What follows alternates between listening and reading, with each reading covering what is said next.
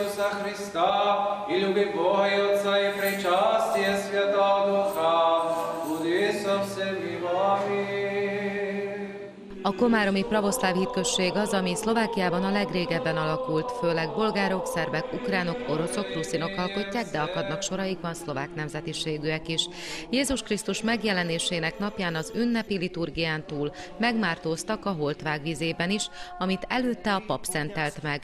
A pravoszláv templomban volt koncert is, a bolgár közlekedési minisztérium kórusa lépett fel.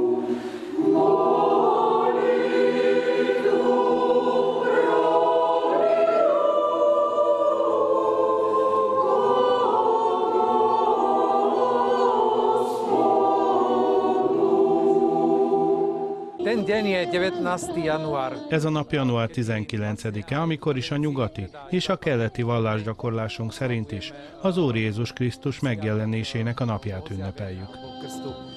A pravoszláv naptárt Jézus Krisztus megkeresztelkedésének napját a Jordán folyóban január 18-án és 19-én ünnepli. Ez a szokás a Balkán országokból ered a vízszentelés ilyenkor nem csak a templomokban, hanem a szabadtéri vizeknél is megvalósul. Tento rok máme milých hostí.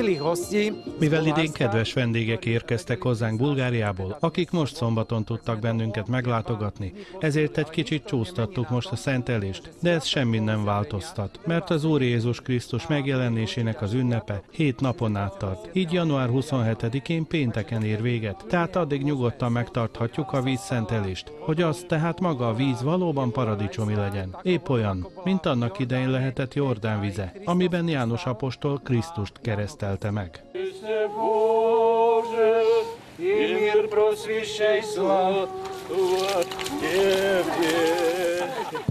a parton imaszó hangzott el a vízszentelés előtt. Ezt követően a keresztet a holtvág vizébe dobta a pap.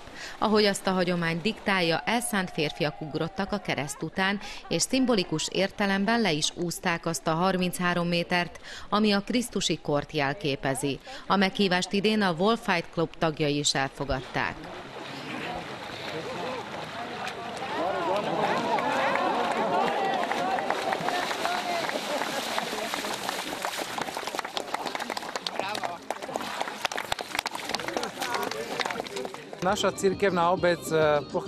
A mi hitközségünk gyökerei még 1511-ben nyúlnak vissza, tehát a Komáromi, a legidősebb pravoszláv hitközség Szlovákiában. A templomunk szintén országos szinten a legrégebben épült, pedig már a harmadik a sorrendben a városban.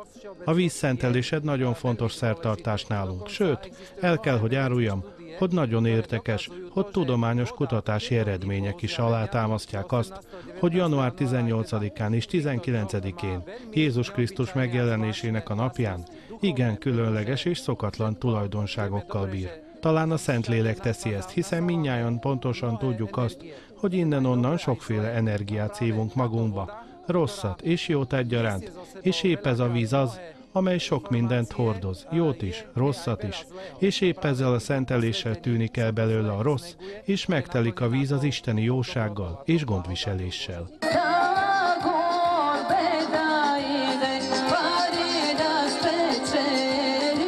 A Holtvág partján rendezett szertartást hagyományos horótánc zárta a bolgár vendégek előadásában. A tánc vizes változata, amelyben a férfiak egy tóban vagy egy folyóban lejtenek, ezúttal elmaradt.